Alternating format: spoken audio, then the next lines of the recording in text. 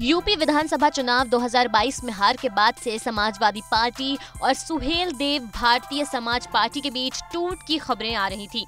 इस बीच सुहेल देव भारतीय समाज पार्टी के प्रमुख ओपी राजभर की होली के दिन अमित शाह से भी मुलाकात की खबरें भी सामने आईं, जिसके बाद खबरें और तेज हो गईं कि राजभर बीजेपी में शामिल होने जा रहे हैं।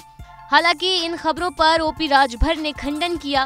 राजभर ने एबीपी न्यूज़ को बताया कि उनकी अमित शाह से कोई मुलाकात नहीं हुई और न ही वो बीजेपी में शामिल होने पर कोई विचार कर रहे हैं।